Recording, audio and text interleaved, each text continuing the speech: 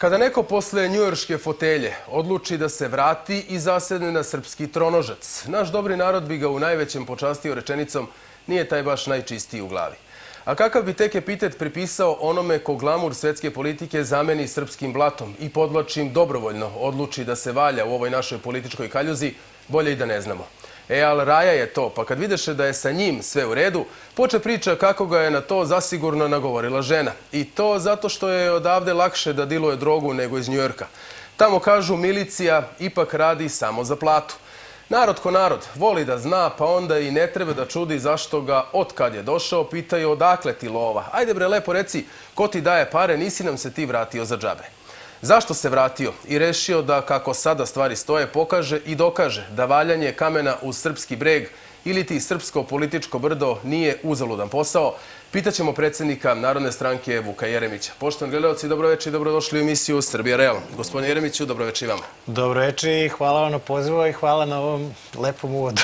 Pa evo ovako, prvi put ste gost u ovoj emisiji. Zaista, pitali su vas, verovatno, odgovarali ste na to pitanje, ali želim da, da mi kažete Zašto ste se vratili u Srbiju? Zašto ste se vratili u političko blato Srbije posle Ujedinjenih nacija? Pa zato što ja drugu zemlju nemam.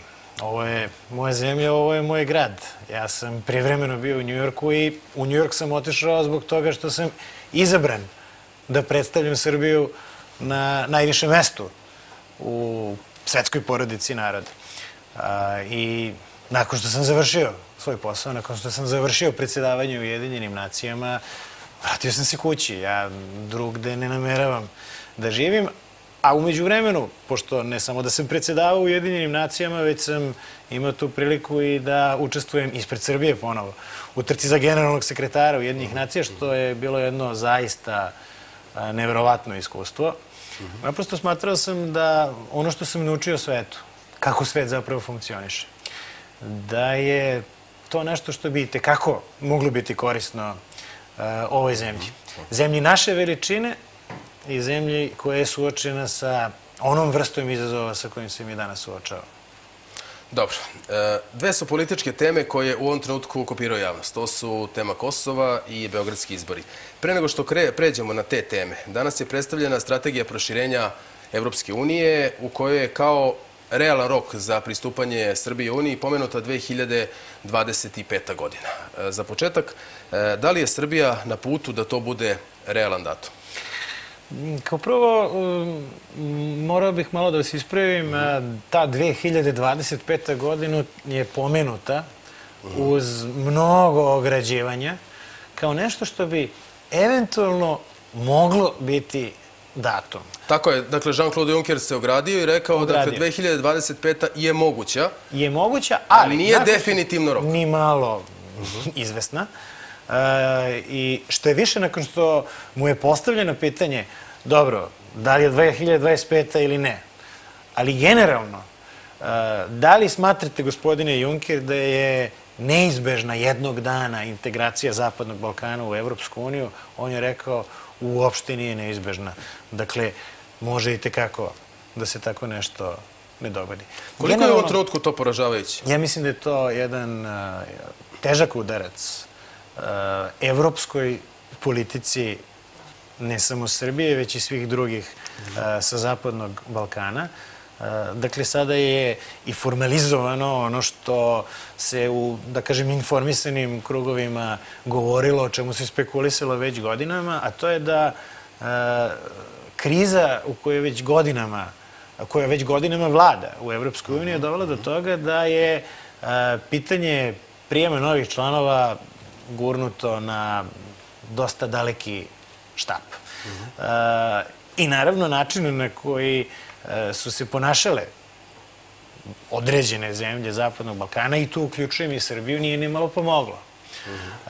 Mi smo se u poslednjih nekoliko godina počeli da odmičemo od dostizanja evropskih standarda u društvu.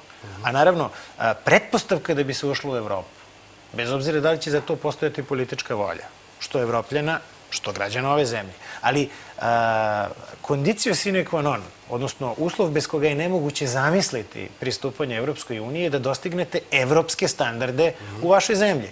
Mi smo u poslednjih nekoliko godina počeli da se odmičemo od evropskih standarda. Dakle, svakim danom da sve manje ličimo na evropsko društvo. Gde kaskamo? Pa kaskamo, ja bih rekao, po uh, mnogim pitanjima, ali možda najvidljivije je uh, po pitanju vladavine prava, po pitanju ljudskih sloboda, prava na slobodno izražavanje, nezavisnog pravosuđa i na kraju krajeva i ekonomskog napretka, ako hoćete. Mi smo u poslednjih pet godina, kad se gleda kumulativni rast, na samom začelju, ne samo Evrope, već i Zapadnog Balkana. Dakle, ako imate jednu zemlju koja se ubrzano osiromašuje, zemlju u kojoj je sve manje uh, ljudskih prava koje se poštuju, u zemlji u kojoj nema slobodnih sudova, onda vi naprosto niste kvalifikovani da se o vama uopšte i razmišlja uh, u okviru Evropske unije da li će vas primiti ili ne. A mnogi kažu da uh, u stvari ulazak u Evropsku uniju ne zavisi ni od čega drugog nego od, od Kosova, odnosno od dogovora, dogovora sa Kosovom. Pored vladavine prava, naravno, ekonomija, svemu o čemu smo pričali, e, moram da vas pitam pre toga, pre nego što, što budemo razgovarali o Kosovu kao uslovu za ulazak u Evropsku uniju, e, kada govorimo o međunarodnim odnosima, imala li Srbija u ovom trenutku, prema vašem mišljenju, međunarodnu podršku za taj svoj put? Za koji put, tačno mislim? Ka Evropskoj uniji? E, mislim da nema. Da bi imali e, adekvatnu podršku za eventualno pristupanje Evropskoj uniji, oko toga u okviru same Evrope treba da se slože svi. I mislim da to trenutno ne postoji. I mislim da se svakim danom koji odmiče sve manje entuzijazma u Evropi da primi Srbiju. Sve manje, rekao bih, entuzijazma u Evropi i da primi bilo koga drugog sa Zapadnog Balkana. A ovo što ste pomenuli oko Kosova je svakako jedna vrsta posebnosti koju drugi nemaju Jasne. na Zapadnom Balkanu. Ali a, ako ste primetili u ovoj a, strategiji koja je danas predstavljena u Briselu, relativizuje se ulazak Srbije u Evropsku uniju, da li će to ikada da se desi.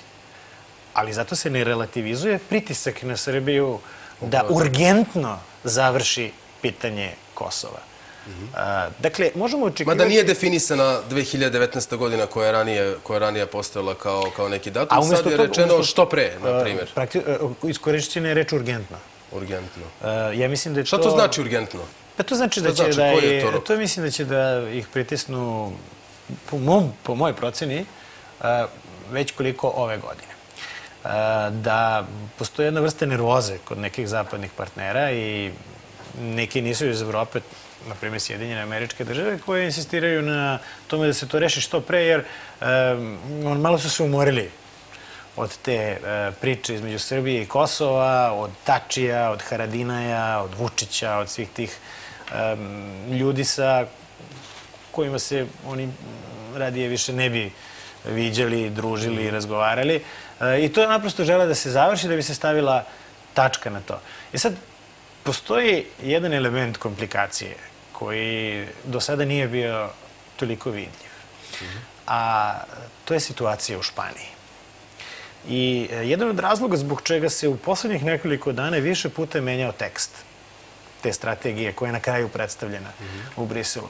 Je zbog toga što je Španija uh, za mnoge uh, iznenađujuće, za mene konkretno ne, zato što sam razgovarao više puta sa španskim najvišim rukovodstvom u toku poslednjih nekoliko meseci, Španija je izašla sa izuzetno rezolutnim stavom.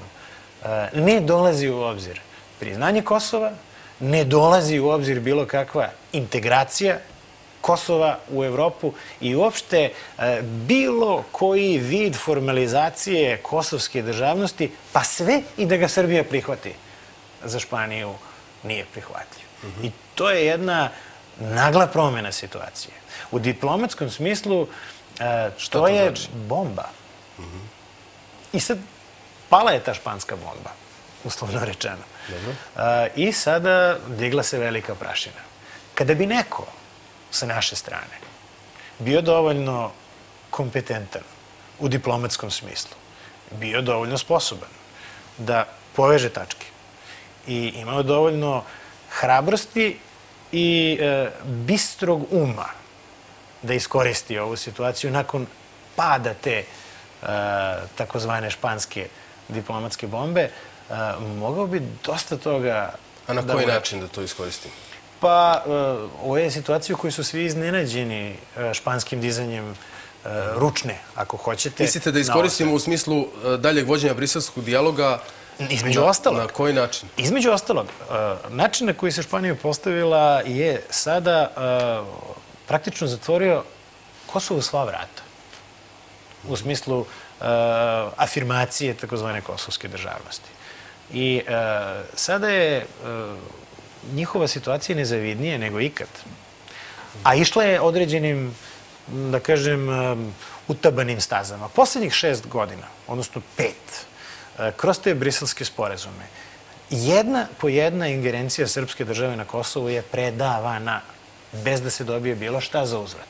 Podsjetit ću vas, e, rasformirana je, e, rasformiran je srpski pravosudni sistem na severu Kosova. Kosovu je predat međunarodni telefonski pozivni broj serija drugih ustupaka, od kojih je možda najbolnije za našu zemlju, e, praktično predavanje Trepče u vlasništvo kosovskim Albancima, odnosno e, nečinjenje ničega da bi se to sprečilo. Dakle, jedna po jedna stvar je predavana E, su postojali mehanizmi da se to da se to spreči? Pa da li biste sedeli- vi, evo na primjer, govorimo sad o, o, o briselskom sporazumu, dakle e, kojim je to na neki način sem Da. trepče sve definisano. E, da li biste vi potpisali na na mestu sadašnje vlasti taj briselski Pa ne sporazum? bi nikada kako, kako pregovarao. Pa uopšte nikada ne bi se, ja nikada ne bi toliko nekompetentno pregovarao da na kraju ti dođe na sto a, da potpišeš tako nešto. Dakle, jedna od elementarnih stvari u međunarodnom pregovaranju koju znaju svi polaznici diplomatske akademije, da ne pričamo o iskusnim diplomatama, je da u međunarodnim pregovorima kad nešto dogovarate, to je obično komplikovano, ima 10 stvari ili 20 stvari koje treba da dogovorite. Ali nikad se ni jedna ne implementira, nikad se ni jedna ne primenjuje, dok se ceo paket ne ispregovara. Dakle, ne možete vi da dođete, ajde da pregovaramo telefonski broj, evo vam telefonski broj. Ajde da pregovaramo rasformiravanje pravosuđa, evo vam to. Tražite vi za uzvrat, konkretno naša strana je u tim pregovorima tražila za uzvrat vrlo malo, a, po meni premalo, ali eto, tražila je i nominalno je dobila formiranje takozvane zajednice srpskih opština na severu. Ali nije ispregovarala tako da, na primer, dok se ne formira zajednica srpskih opština, mi vam ne damo telefonski poziv. Ne. Sve što je dogovoreno kao koncesije srpske strane je predata Prištini. Ništa što je dogovoreno za uzvrat. Konkretno je to ta zajednica srpskih opština, što je po meni mnogo malo, imajući u vidu šta smo dali.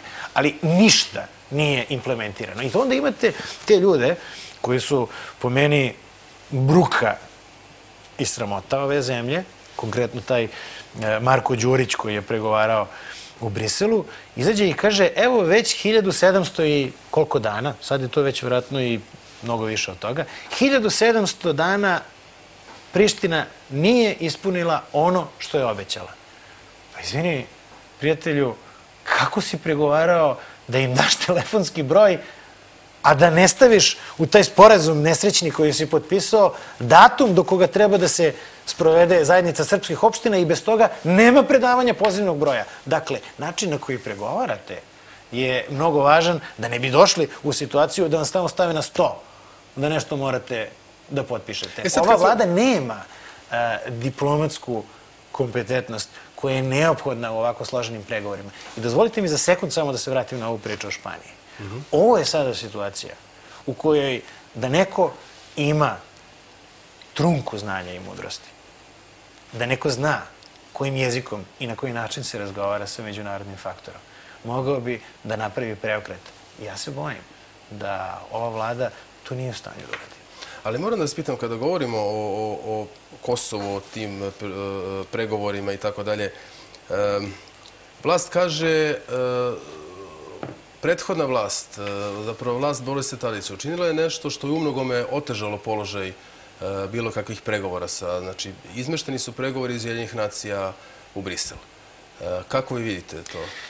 Um, pa mislim da to je naprosto jedan nepošten argument, uh, zbog toga što, ako ćemo tako, da nije bilo njihove vlasti pre 2000. godine, tih istih ljudi koji su danas na vlasti, ne bi bilo bombardovanja i ne bi bilo NATO-a na Kosovu. Dakle, mi ne bi uopšte došli do Ujedinjenih nacija, rezolucija 1244, bilo kakvih međunarodnih pregovora, da oni svojom nestručnošću i bahatošću tada nisu doveli do toga da budemo bombardovani i da se na Kosovu instaliraju međunarodne snage. Dakle, mi rekao bih da je mnogo veća krivica na njima koji su uopšte doveli do međunarodnih pregovora po tom pitanju. Dobro, ali onda ste vi seli za sto, odnosno... I mislim da a, način na koji se tada pregovaralo, a to nisu bile jednostavne okolnosti, tada je, a, je glavni prioritet, recimo, američke spoljne politike bilo Kosova. Znate, kada imate najmoćniju zemlju na svetu koja definiše kao glavni prioritet Kosovo i to uh, politiku koja je u potpunosti suprotna sa onim što vama odgovara, pa u tome budu podržani od serije ozbiljnih međunarodnih faktora, Britanije, Francuske, Nemačke i tako dalje, to nisu jednostavne okolnosti za pregovore.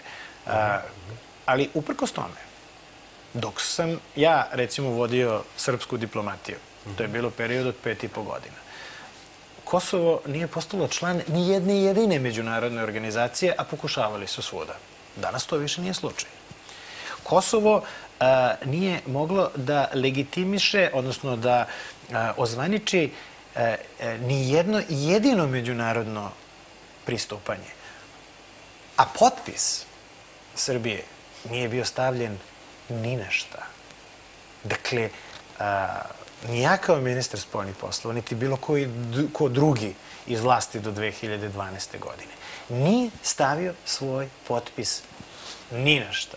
Svi potpisi došli su tek posle 2012. godine na prvi briselski sporazum, pa na drugi briselski sporazum, a sada će se, kao što smo čuli danas u Briselu, tražiti urgentno da dođe do potpisa i na taj treći, konačni, krajnji... Kuda vodi, kuda vodi, ajde kažemo, kuda vodi briselski, prema vašem mišljenju, kuda vodi, dakle, kuda vode briselski... Vode ka jednom vrlo jaskom ishodištu, pošto je srpska strana pod ovom vlašću predala praktično sve što je moglo da se preda, ostala je još samo jedna stvar koja je Albancima neophodna da bi kompletirali svoj pokušaj uspostavljanja državnosti, a to je stolica u Ujedinjenim nacijama. E sad, izuzetno je komplikovano to dobijanje stolice u Ujedinjenim nacijama, osim ukoliko ne postoji puna saglasnost zainteresovanih strana, konkretno naše strane, koja je jedna od zainteresovanih strana, i podrška svih pet stalnih članica Saveta bezbednosti. Zašto? Zato što se članstvo u Ujedinjenim nacijama ostvaruje iz dva koraka.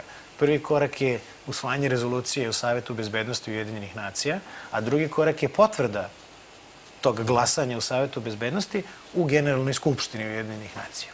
Ovaj prvi korak je problematičan zbog toga što u Savetu bezbednosti ima pet zemalja koji imaju pravo da stave veto, od kojih dve, Rusija i Kina, podržavaju stav, zvaničan stav, nominalni stav Beograda, koji je bar za sada stav Beograda da ne priznajemo kosovsku nezavisnost. Dakle, Rusija i Kina koriste svoj kapacitet zemlje koja ima veto da to zaustave. Zašto se sada ide ka tom trećem sporazumu, odnosno konačnom sporazumu, kako ga oni zovu, pravno o normalizaciji, pravno obavezujući odnos, o normalizaciji odnosa Srbije i Kosova. Zbog toga što sve ostalo na stranu što će pisati u tom sporazumu, postoji samo jedan jedini bitan paragraf. A taj bitan paragraf kaže Srbija i Kosovo jedni druge neće blokirati za članstvo u međunarodnim organizacijama. Nakon što Srbija, stavi svoj potpis, a ja verujem da je ideja ove vlasti da taj potpis stavi Ana Brnabić. To je jedan od razloga zbog čega je ona i izabrana za mnoge prilično iznenađujuće s obzirom na njene kvalifikacije i objektivno nepoznatost i političko neiskustvo. Dakle, mislite da će ona potpisati to? Zamišljeno je da to potpiše ona, pa ne, neće valjda Vučić. A, dakle, ukoliko taj potpis neko sa srpske strane u ime Srbije stavi, tog trenutka ide se u Savet bezbednosti. Recimo, Sjedinjene američke države će podneti rezoluciju o kosovskom članstvu u Savetu bezbednosti. I tada Rusija i Kina pitaju zvanično Beograd. Kako hoćete da mi glasamo? S obzirom da ste pre nekoliko dana stavili svoj potpis na dokumente da nećete blokirati Kosovo za članstvo u međunarodnim organizacijama, uključujući i Ujedinjene nacije, evo, recite nam kako hoćete da glasamo. I potpis na taj dokument Srbiju obavezuje da kaže Rusiji i Kini uzdržite se. I Dakle, tada je stvar veta. gotova. I Da. tada je stvar završena. I tada nema više nikakve potrebe da Srbija prizna Kosovo. Tada je Kosovo postalo država jer je ušlo u Ujedinjene nacije. Šta briga koga da li je Srbija priznala? Evo, imate situaciju, pa pola arapskog sveta, dve trećine arapskog sveta ne priznaje državu Izraela. A država Izrael funkcioniše, sedi u Ujedinjenim nacijama, ne uzbuđuje se preterano zbog toga što je arapski svet ne priznaje.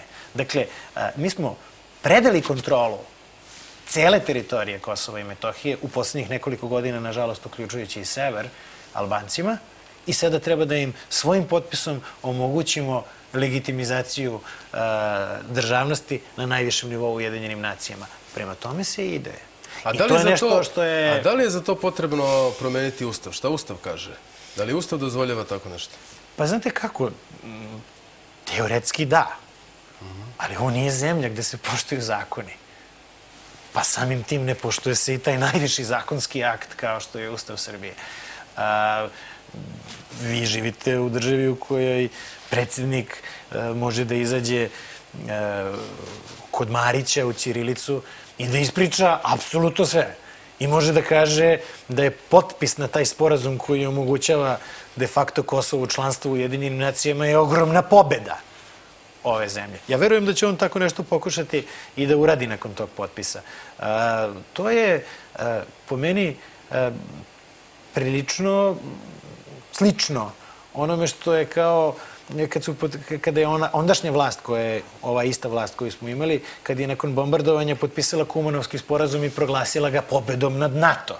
Dakle, oni to neće imati problema da pokušaju da predstave i da kažu Ustav, je. Ustav poštujemo i dalje. Ali uh, pitanje je da li će građani ove zemlje, da će narod ove zemlje prihvatiti, uh, pristati na jednu uh, takvu vrstu ne samo vređanja inteligencije, već e, najdrastičnijeg mogućeg gaženja svih nacionalnih interesa koje možete da zamislite. Da li možda e, neće doći do toga? Zapravo, Ustav bi trebalo promeniti, jedan od razloga i ulazak u Evropsku uniju. Na koji način vi vidite e, e, promenu Ustava?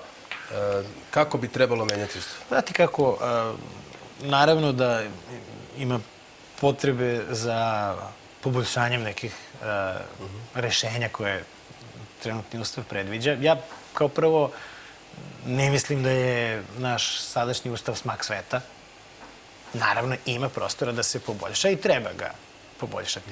Ali mislim da bi najnormalniji, zapravo jedini mogući način da se promeni ustav, i to je stav Narodne stranke koji sam ja predsednik, e, kroz sazivanje Ustavotvorne skupštine. Dakle, raspisivanje izbora, parlamentarnih izbora za Ustavotvornu skupštinu koja bi imala mandat, dobijen direktno od naroda, da većinom donese novi najviši zakonski akt ove države. E, Ne možete menjati Ustav, po mom dubokom uverenju, pod aktuelnim okolnostima. Zašto?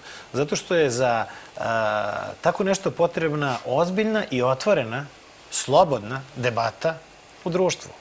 Danas u Srbiji nema kapaciteta, nema prilika za slobodnu debatu. Vi ne možete voditi slobodnu debatu u trenutku kada vam je 95% javnog prostora, medijskog prostora, u potpunosti zatvoreno za bilo koga koji se a, ne slaže sa ovom vlašću.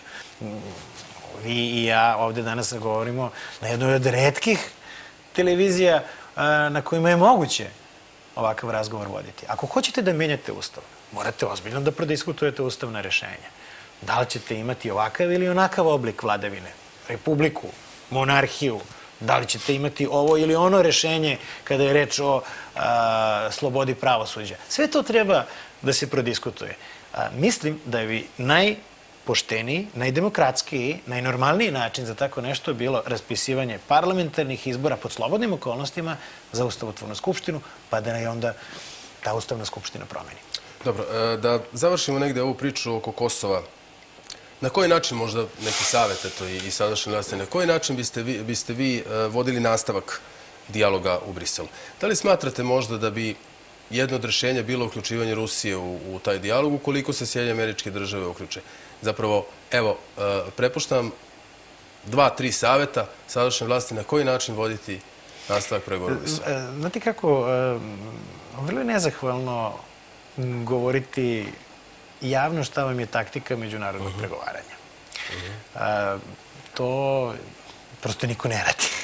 Dobre. Jer a, mi imamo situaciju u kojoj a, jedan značajan broj uticajnih međunarodnih činioca žele rešenje za Kosovo koje je potpuno suprotno onome što po meni bi trebalo da bude srpski nacionalni interes. -huh.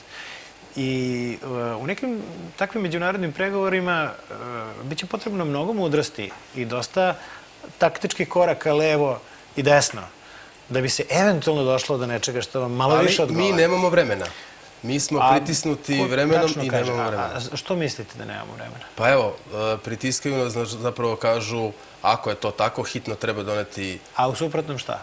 U suprotnom nema Evropske unije, na primjer. Pa nema izgleda ni ovako. Mm -hmm. Zato što je, ako se ne varam, ovaj drugi deo o proširenju 2025. godine do kraja relativizovan. Ne znam mm -hmm. tačno samo šta nema ukoliko ne pristanem. Ali, -hmm. na stranu to. Uh, bojim se da ova vlast ne gleda na to kao što gledam ja. Uh, zbog toga što ova vlast dosta zavisi od međunarodne podrške. Mm -hmm. uh, zašto? Zato što se ponaša na jedan apsolutno neprihvatljiv način za svako demokratsko i civilizovano društvo. I, uh, A čije podrške? Sjednih američkih država, Rusije, čije? Govorim pre svega o zapadnoj podršci. O zapadnoj. Uh, jer uh, način na koji se vodi zemlja danas, odnosno stanje demokratije, slobode ljudskih prava i, uh, i svega drugog što smo na početku zaključili, ja se nadam da, se složi, da ćete se složiti sa mnom da je dosta problematično danas u Srbiji, bi pod nekim normalnim okolnostima izazvalo daleko a, ozbiljniju reakciju, recimo, te Evrope, mm -hmm. koja izostaje. Imali smo ranije te reakcije, sad ih nema, to je istina. Izostaje upravo zato što je veliko očekivanje od ove vlasti da će na brzinu spakovati i rešiti to pitanje Kosova na način na koji to njima odgovara. Dakle, ja sam duboko uveren da su oni 2012. i došli na vlast tako što su napravili to obećanje. Evo, mi ćemo uraditi ovo što ove demokrate nisu imale hrabrosti da urade. Evo, mi ćemo to da uradimo i, boga mi, u poslednjih šest godina su i tekako pokazali da na, su im namere u tom smislu ozbiljne. E sad, kada je došlo do kraja, sada oni svojim zapadnim prijateljima govore ljudi, a kako vi mislite da mi završimo taj težak posao kao što vi od nas očekujete, ukoliko nemamo kontrolu nad medijima, ukoliko nemamo a, punu vlast na svim nivoima. Znate, to je jako nepopularno što smo mi vama obećali, a to je da dozvolimo kosovsku državnost. E pa, ako hoćete da vam to uradimo, onda morate da nam tolerišete činjenicu da držimo sve medije pod svom kontrolom, da moramo da imamo vlast na svim nivoima, od pećinaca do predsednika države. Ako hoćete da vam uradimo to, onda morate malo da nam tolerišete ovo ponašanje. I za sada im je prolazilo. Moram da priznam da mm, bi čovjek očekivao daleko ozbiljniju reakciju sa zapada na ovakvu vrstu ponašanja. Ona je za sada izostala. Ali mislim da se ova cijela situacija e, dosta zakomplikovala i da 2018. godine možemo očekivati e, određene promene. E, mislim da se u tim promenama ova vlast neće najbolje snaći. Dobro. Mnogo pitanja naravno još ima, vreme emisije e, lagano curi. Ajde da pređemo na izbore u, u glavnom gradu. E, Na čemu bazirate program stranke kada je Beograd u pitanju? Pre svega mi smo kao Narodna stranka odlučili da stupimo u jedan širi koalicioni front. E, jezgro e, tog koalicijonog fronta čini pokret slobodnih građana Saša Jankovića i Narodna stranka. Naravno, tu ima još aktera, uključujući Levicu Srbije, mnogi pokreti, sindikati i naravno ono što je izuzetno važno, a, to je sam kandidat za gradonačelnika, to je Dragan Đilas. E, mi smo odlučili da e, stupimo u taj e, zajednički front, zato što po mom dubokom uverenju, to uverenje deli predsedništvo i ostali organi Narodne stranke, ovoga trenutka niko, pa ni mi, nismo u situaciji, zbog ukupnih okolnosti, da se uspešno suprotstavimo vlasti i načinu na koji vlast zlupotrebljava resurse u predizbornim kampanjama. Dakle, mi smo formirali uh, koalicijoni savez, uputili smo poziv svim opozicijonim akterima uh, da vstupe u tu zajedničku kolonu. Na moju uh, duboku žalost, jedan broj opozicijonih aktera se oglušio. Pričat ćemo o tome, ali ajde da, da se vratimo za- na trenutak ovo. Interesuje me Ali pitali ste me lično za, pitali ste za me program. Pitali Znači, ste me za posebno me program, interesuje da. socijalni deo programa. Na primjer, dakle, e, da kažemo građanima šta mogu da očekuju, šta mogu da očekuju mladi, šta mogu da očekuju Evo, trudnice, da penzioneri. nešto. A, a, taj program je sačinjen u 15 tačaka i socijalni, a, socijalne tačke u okviru tog programa su, rekao bih, a, njegov značajan deo. Njih je konkretno predložio sam naš kandidat za gradonačelnika Dragan Đilas, e, jer je to naprosto već činio, već je sprovodio to u delo kada je bio gradonačelnik, a to je i 13. penzija za najsiromašnije naše sugrađane. To su i besplatni uh, udbenici za osnovce, to je i uh, pomoć za veštačku oplodnju, za mlade parove. To, to je već rađeno, tako da nema je. nikakve dileme da to može Jedna, da se ponovo jedna od, sprovede. od, od stvari je do, donacija, odnosno dotacija do pune plate za porodilje. To je ukinuto, bilo je. Ukinuto- ukinuto je Obećavate da ćete to vratiti ukoliko... Evo da kažem, mi smo napravili jedan dogovor da svako u okviru te koalicije, ne samo kada je reč o predizbornim aktivnostima, već i nakon izbora kada ja očekujem da ćemo mi biti noseća snaga u glavnom gradu, da svako radi zapravo ono u čemu je najbolji. Dragan Đilas e, se dokazao da može da neke stvari postigne, ne samo kada je reč o tim socijalnim pitanjima, već kada je reč i o nekim vrlo plastičnim stvarima kao što je most koji je čovjek izgradio, ali da svako radi ono u čemu je najbolji. I ja sam na sebe preuzeo Dobro. da a, sve što sam naučio u međunarodnim odnosima i sve kontakte koje sam napravio u svetu, a nemam ih malo, da stavim u funkciju a, poboljšanja funkcionisanja i razvoja glavnog grada. Dakle, ono što ja sam spreman da uradim od prvog dana formiranja nove gradske vlasti je da pomognem novom gradonačelniku Draganu Đilasu da Beograd ponovo postane svet.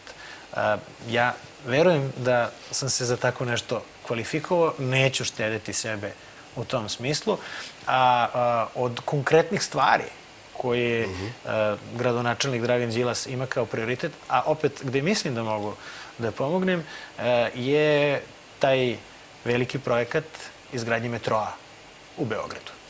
A, I ako ste primetili u poslednjih nekoliko dana... Dobro, ali ova vlast vlast- isto priča o- pa, o ali, metrou. ali počinje da priča tek od pre nekoliko dana. A, govori o metrovu. Ali sad ću vam skrenuti pažnju na razliku između a, vizije metroa ove vlasti i vizije metroa o kome govori naša koalicija. Za, ovu, za ovo što mi predlažemo, a, to nije neka a, kula u vazduhu. Za to postoji konkretan projekat koji je, za koga je napravljena studija o izvodljivosti i za kojeg je- su obezbeđena finansijska sredstva. Ja sam lično, kao ministar spoljnih poslova, tokom državne posete Francuskoj, potpisao te sporazume sa francuskom stranom. Dakle, francuska strana je napravila a, konkretan projekat i studiju izvodljivosti i obezbedila finansiranje za metro koji bi išao od Novog Beograda i Zemuna preko centra grada do Zvezdare. A zašto Znači, nije primenjeno postoji. to? Zašto, zašto Sad ću da vam kažem zašto nije primenjeno. Nije primenjeno zbog toga što je to izuzetno ozbiljan investitor sa kojim ne može da se bahato pregovara u smislu a, ajde da ovde ostavimo ovoliko para sa strane i ajde da ove i ove bratske firme a, se bave izvođenjem. Ova vlast isključivo funkcioniše na nivou reketa i sklanjanja novca sa strane. Sa najuglednijim svetskim kompanijama poput francuskih ne možete tako razgovarati. Dakle, ne možete napraviti uh, uh, dil za pranje novca poput onoga što je zapravo Beograd na vodi. Ne možete dovesti nekog bliskoistočnog prevaranta da sa njim napravite i potpišete ugovor tako da evo godinama od kad je to potpisano i godinama nakon što je ta zemlja u centru grada najkvalitetnija moguća zemlja predata toj arapskoj firmi, da se zapravo nije investiralo sa arapske strane apsolutno ništa, Čekajte, već... ali ko je izgradio ove, ove zgrade? znate, pa se- tamo, to, ta zemlja jeste bila ruglo, generalno, da i, kažem, sad, pa sad to tamo je- lepo izgleda i zidaju se neke... Ne, zgrade. ne, Ko je to izgradio ako nisu Arapi? Je, ne bih rekao da izgleda lepo. Ja mislim da ako pošaljete vašu kameru i snimite kako to izgleda, a, sve je već počelo da puca pre nego što je uopšte a, i pušteno. Ali Da ko je izgradio ovde te- te I zgrade? isto tako počelo je da se da tone u vodu. A pare od kojih se gradi milimetar po milimetar te dve ružne, po meni, ružne kule, dolazi iz kredita domaćih banaka.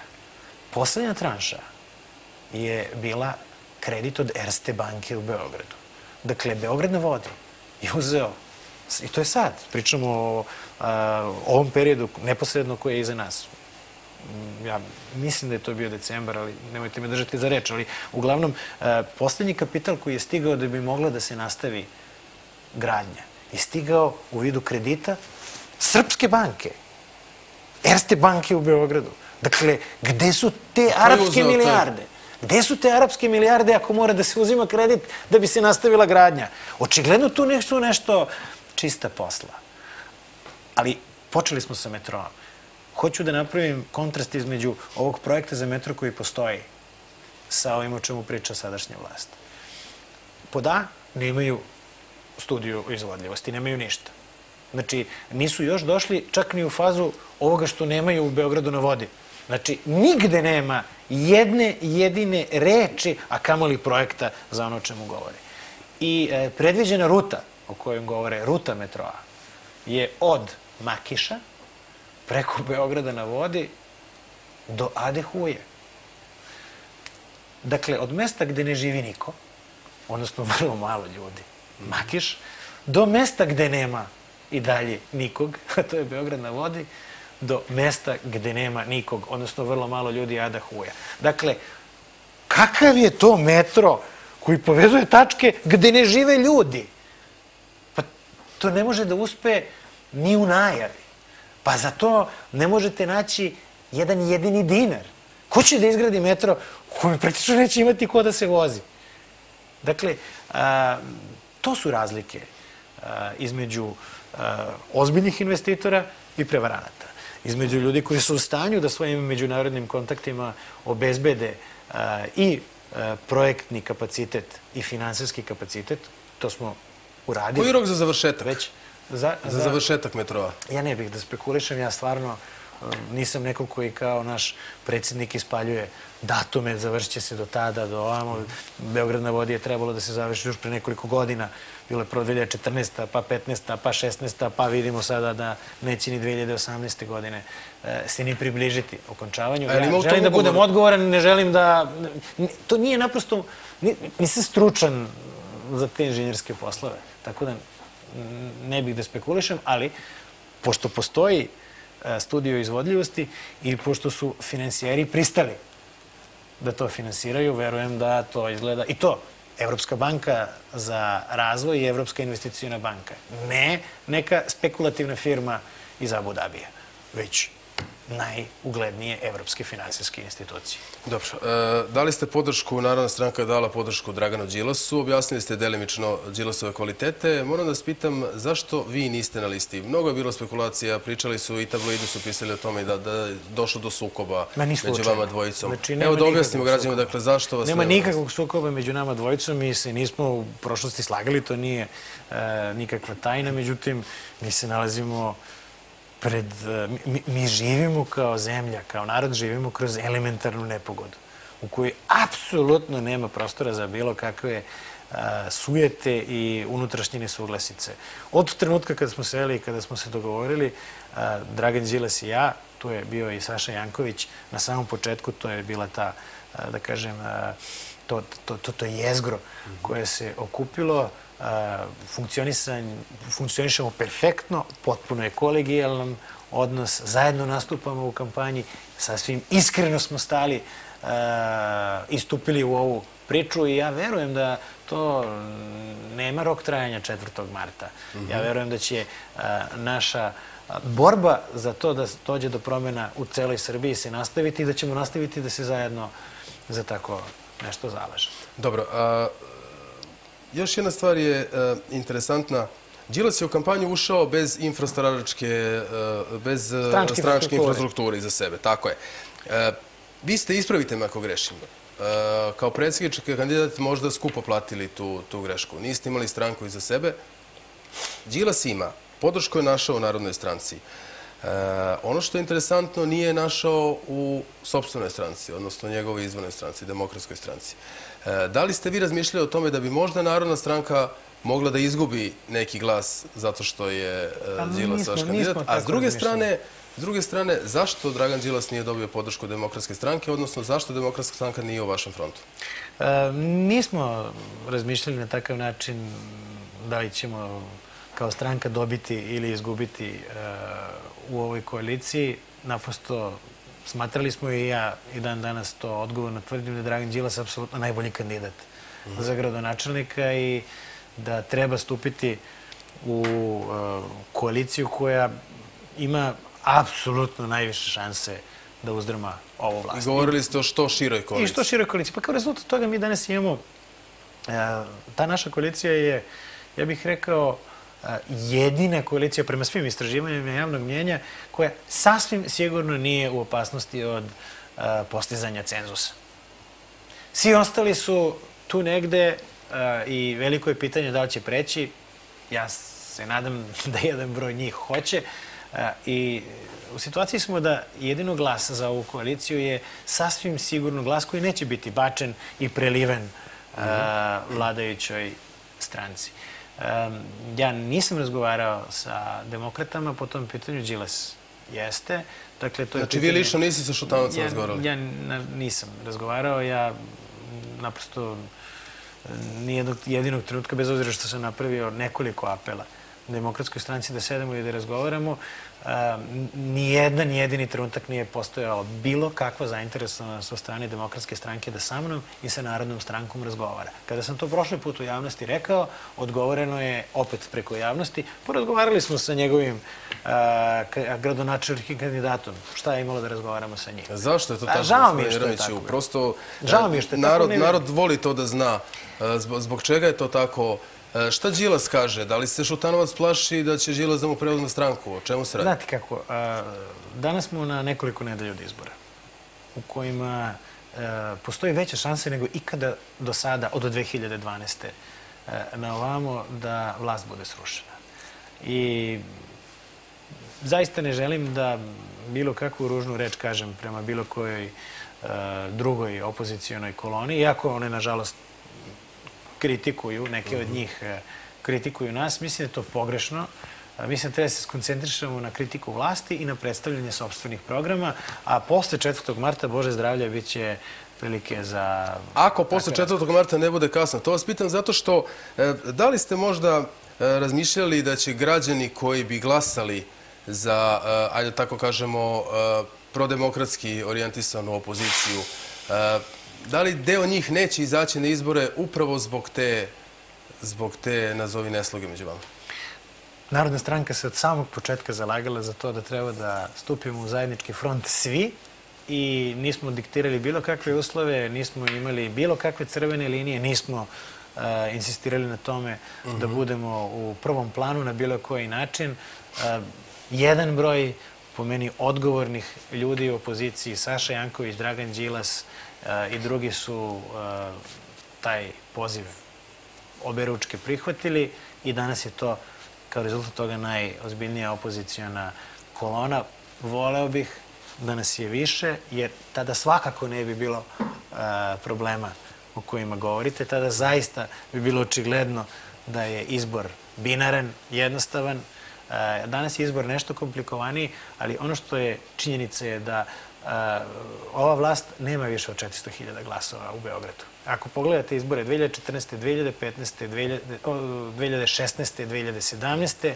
400.000 je apsolutni maksimum koji mogu da postignu a e, građana Beograda je mnogo, mnogo više. A jeste razgovarali možda sa, sa da tu završimo priču sa, o tim nekim preizbornim dogovorima sa Šapićem, sa Tadićem, o ako ne sada izbore, onda posti izbornoj nekoj priči zajedničkoj? E, razgovarao sam sa svima iz opozicije u više navrata. Ja sam uveren da će nakon e, izbore biti e, zdravog razuma da se napravi zajednička priča, ali preduslov toga je da svi izađemo na izbore i da svi damo svoj glas opozicijonoj koloni koja je ljudima najbliža. Ja verujem da će najveća opozicijona kolona biti ova koju mi predstavljamo i čiji je kandidat Dragan Đilas, da će jedan značajan broj ljudi koji i možda ima neku vrstu rezerve prema bilo kome od nas u toj koaliciji, će se racionalno poneti i reći ipak je ovo vodeća snaga, ipak je glas za ovu koaliciju sasvim sigurno glas koji neće biti bačen. Ja verujem da ćemo mi biti najjači u toj opoziciji i da, da ćemo nakon toga imati dovoljno razumevanja od ostalih partnera da se napravi vlast u Beogradu.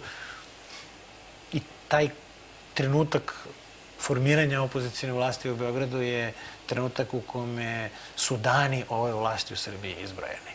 Dakle, definitivno stojite na stanovištu da znamo svi ujedinjeni DOS je srušio Miloševića, da negde razjedinjena opozicija može da sruši Srpsku naprednu stranku.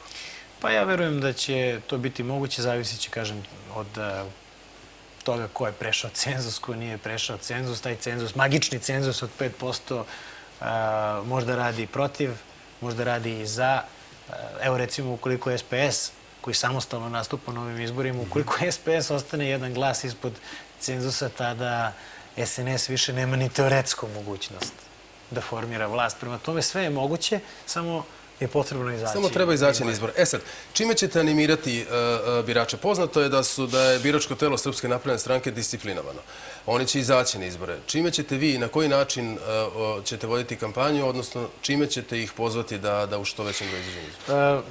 S obzirom na to da su tradicionalni kanali komunikacije, to su tradicionalni mediji, gotovo u potpunosti zatvoreni, bit ćemo što je moguće više na, na, na terenu, odnosno na ulici sa ljudima. Obilazit ćemo e, sve delove našeg grada. Svi članovi naše koalicije su svakodnevno praktično u kampanji. Koristit ćemo i internet i društvene mreže. Dakle, to jeste jedan limitirajući faktor, ali e, mislim da je u Beogradu e, dovoljno, da kažem, dovoljno dostupan. Dovoljno, dovoljno smo u stanju da dođemo do velikog do, do značajnog broja naših sugrađana, da će to biti moguće. I isto tako, pominjali ste tu disciplinu. Danas se apsolutno neprihvatljive stvari dešavaju u Beogradu kada je reč o teranju Uh, onih koji rade u javnim preduzećima, onih kojima, koji su zaposleni mm -hmm. u beogradskim gradskim da službama. Da moraju da izađu na izbore na to. Ne samo da moraju da izađu na izbore, nego da moraju da dostave još deset, da obezbede još deset glasova. Teraju ih rukovodioci u tim službama. Takva vrsta presije nije bila nikad. Ja hoću da kažem, to je ozbiljno i teško krivično delo. Teranje nekoga da glasa i teranje nekoga da obezbedi dodatni glas, pogotovo preteći mu radnim mestom. To je strašno teško krivično delo koje ćemo bez izuzetka procesuirati svako koji tera ljude koji su zaposleni u javnoj službi na bilo kakav način da se politički opredeljuje, a ne do Bog da mora da dokazuje kako je glasao i kako mu je porodica glasala, će završiti u zatvoru. To je jedno od najčvršćih obećanja koje dajemo. I poruka a, a, onima koji su pod takvim pritiskom, a, ne mogu vam ništa. Glasajte po savesti. A, da li će neko da se usprotivi i da kaže ne svom šefu, to zavisi od karaktera. Ali kada se nađete iza paravana, možete slobodno da glasate, nećete moći da, ne, neće biti dozvoljeno da se slika telefonski listić i zato smo biračke odbore a, dobro pripremili. A, pokrivenost je 100%, neće moći da se koristi mobilni telefon, da se slika listić i da bi se posle toga to pokazivalo. To sam teo da vas pitam, da li ste obučavali e, članstvo za, za, za dan izbora? Jeste, maksimalno se to radi i, i, i prolazimo i prvi, i Tražili drugi, ste, ako se ne varam, e, prisustvo OEPS-a, plašite li se krađe i Pa samim tražili tim, smo dakle- prisustvo OEPS-a i potpuno se uglušila vlast, nije nakon nešto prihvatila. Očigledno da ima razloga šta da krije. E, Nisu nikada odgovorili na to pitanje. Oni su generalno danas u fazi dosta ozbiljne e, Pa rekao ću, reću panike. Neka vrsta panike jeste. E, ne samo da e, su počeli da e, pojačavaju pritiske na ljude e, koji rade u državnoj službi. Već su počeli i neke stvari da rade e, koje e, su do juče bile nezamislive. E, I skrenut ću vam pažnju na nešto što nije nebitno. Vezano je za Poresku upravu. Ja sam na ovoj televiziji a, pre par meseci otvorio to pitanje, nešto što niko nije smeo da dotakne, a to je da se a, konkretno Poreska uprava zloupotrebljava od strane Srpske napredne stranke za pritisak na a, privrednike, tako što im se naprosto ne vraća PDV koji ljudima treba da se vrati. A, I od postavljanja tog partijskog brutalnog kadra na čelo te a, institucije Poreska uprava, Dragane Marković, direktno od strane vrha SNS-a, dakle predsednika lično, a, odjednom je, i govorimo o desetinama milijardi, odjednom je prestao ljudima da se plaća nazad PDV u zakonski predviđenom roku. 23.000 rešenja koje nisu bila sprovedena u delo, preko 30 milijardi dinara je u tom trenutku bilo. Jer nisi smeo da tražiš povraćaj PDV-a, sem ako nisi povezan sa SNS-om, sem ako nisi spreman da platiš reket, sem ako nisi eventualno strani investitor koji su se e, nisu uh, usudili. A u suprotnom, zašto, zašto? U suprotnom e, inspektori U dolaze... suprotnom vam dolaze finansijska inspekcija i parališe vam rad firme e, na nekoliko nedelja. I posle toga možete se slikate. Znate, mnogi privrednici su u tom stanju da ne mogu sebi da dozvole da im se parališe posao na jedan jedini dan, a kamoli na nekoliko nedelja. Dakle, e, direktno direktna zloupotreba zbog koje će morati da se na ozbiljan način krivično odgovara. Na prvom mjestu, naravno, Dragana Marković. Vi imate dokaz za, za, za te Apsolutno. Apsolutno. To su izvodi a, koliko je bilo, koliko je u kom trenutku, koliko je bio zaostatak PDV-a. Kad je ona došla i u trenutku kada smo mi o tome počeli da glasno govorimo upravo na ovoj televiziji. A, nakon što smo to počeli da govorimo pred Novu godinu, naglo je isplaćeno 12 milijardi ili je pritisak bio preveliki. Pritisak je bio između ostalog i zato što je ministar financija Vujović, koji je inače jedan izuzetno kompetentan, stručan i pošten čovek, počeo da se raspituje pa šta se to dešava, o čemu se ovde radi i počeo je sistem da puca pod pritiskom. A gde se Da preusmerava? Aha. Da bi. A gde se preusmerava? Da. U trezoru. To se, pri, to se prikazuje kao suficit. Ova se vlast hvali suficitom u budžetu, a suficit u budžetu je zapravo a, novac građana kojima nije vraćeno ono što je njihovo, odnosno PDV. Da bi se prošle nedelje, upravo zbog ove panike o kojoj pričamo, i zbog pritiska ministra Vujevića, koji više nije dozvolio da se u finansijskom sistemu Srbije, za koji je on na neki način nominalno odgovoran, dešavaju ovakve bahate pljačke. U sredu, prošlu sredu, isplaćena je 31,5 milijarda je vraćeno nazad PDV-a, što je trebalo mesecima unazad da se vrati. Dan kasnije još milijardu i po. Dakle, 33 milijarde upravo onih para o kojima smo mi govorili ovde, ja sam lično na našoj televiziji to otvorio, po prvi put se neko usudio tako nešto da kaže, da javno prozove ženu koja stoji iza te uh, kriminalne šeme, a to je Dragana Marković, uh, direktorka Poreske uprave, danas su morali, odnosno prošle nedelje, morali su da ljudima vrate taj novac, jer ljudi su počeli da se bune. Ovde je samo je najveći problem što nema dovoljno kanala komunikacije da se podeli istina sa ljudima, da se ljudi prepoznaju među sobom, da kažu, e bre, pa stvarno to se i meni dešava, neću bre te više ovo da trpim. Da, bližimo se kraju emisije. E, jeste, mediji e, de facto jesu problem, odnosno neizostavni i fakat e, vrlo važan deo svake kampanje, ako ne i, i najvažniji. Moram da vas pitam, ocena medijske slike u Srbiji u ovom trenutku i još jedna jako bitna stvar.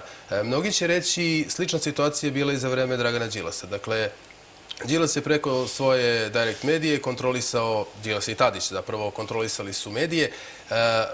E, na koji način da mi znamo da se to tako takve stvari više neće Znate, dešavati? ja mislim da, se, ja, dakle, ja mislim da, ja, ja, ne pitam vas to, izvinjam se, pitam vas to iz razloga da što, što smo i mi uh, u, u celoj toj priči, dakle, skinuti smo sa, sa PTT-a, što bi narod Pa rekao, ni krivi ni dužni. Apsolutno. Dakle, Pa samo zato što, znate zašto ste skinuti? Skinuti ste zbog toga što ja danas s vama sedim u studiju. a čime garantujete da do toga više nikada neće doći? Pa, znate kako, ja bez bilo koje namere da pravdam, branim bilo koga, uključujući i onu vlast pre 2012. godine, mi ipak govorimo o potpuno drugim dimenzijama.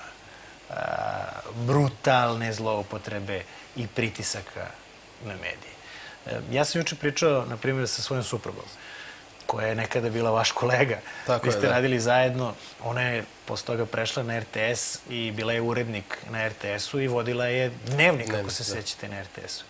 I onda ona meni priča o jednom razgovoru svom sa Aleksandrom Vučićem uh, iz Šminkernice, pre nego što će ući u dnevnik. Vučić je tada opozicioni akter. U dnevnik RTS-a. Vučić je gostovao u dnevniku RTS-a. Za možete zamisliti danas a, pojavljivanje moje bilo gde na RTS-u, a po, pogotovo u dnevniku. Pa ipak to nisu iste dimenzije. Ja kažem, ponavljam, ne želim da branim. I a, svi su pravili greške, neki su iz tih grešaka i naučili, ja mislim da sam iz nekih svojih grešaka naučio. I Dragan Đilas kaže, i to vrlo javno, i ne stidi se da kaže da je neke stvari grešio. Ja sam apsolutno uveren da mi ne pričamo o istim dimenzijama, o istim poimanjima stvarnosti. Mi danas živimo u zemlji u kome je nezamislivo na RTS-u da se pojavi neko iz opozicije. Ja pišem svake dve nedelje pismo Draganu Bojoševiću.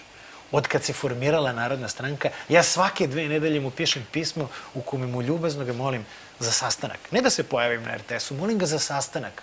On čovjek neće da odgovori na pismo. Niste dobili odgovor? Nikako. Ali mnogi su Dragana Bojoševića vezivali za, za demokratsku stranku. Ma, to je, Svojevremeno. To je, to je, tada, to je jedan trik.